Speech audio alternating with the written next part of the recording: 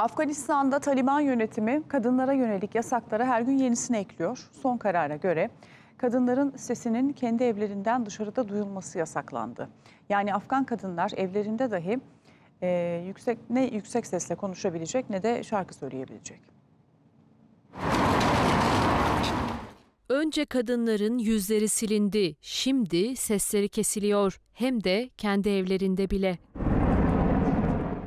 Afganistan'da 3 yıl önce yönetimi ele geçiren Taliban kadınlara yeni yasaklar getirdi. 35 maddelik yasaklar listesi tam 114 sayfadan oluşuyor. Buna göre kadının sesi mahrem kabul edildiği için halk içinde şarkı söylemeleri, yüksek sesle kitap okumaları yasaklandı. Kadınların seslerinin kendi evleri dışından duyulmaması gerektiği belirtildi. Yani Afgan kadınlar evlerinde bile yüksek sesle konuşamayacak, şarkı söyleyemeyecek.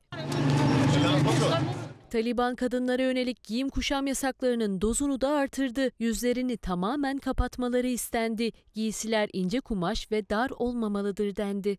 Kurallar arasında yetişkin bir kadının kan bağı olmayan yabancı bir erkeğe bakması yasaktır ibaresi de yer aldı. Kurallara uymayanlar mahkeme kararı olmaksızın tutuklanabilecek.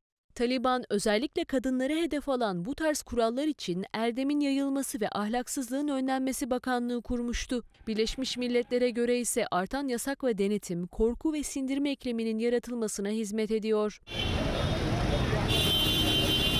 Afgan kadınların eğitim hakkı da ellerinden alınmıştı. 12 yaş üzeri kızlar okula gidemiyor. Kamuda ve özel sektörde kadınların çalışması da engelleniyor. Ukrayna'ya da tarihi bir ziyaret gerçekleşiyor. Hindistan Başbakanı Narendra Modi Ukrayna'ya gidiyor. Kiev'de Zelenski ile e, görüşen Modi savaşın sona ermesi için katkıda bulunmaya hazır olduğunu da söyledi. Kiev'e giden e, Modi önce Ukrayna Cumhurbaşkanı Volodymyr Zelenski ile birlikte savaş konulu açık hava sergisini gezdi ve Gandhi anıtını ziyaret etti. Zelenski ziyareti tarihi ve dostane olarak niteledi.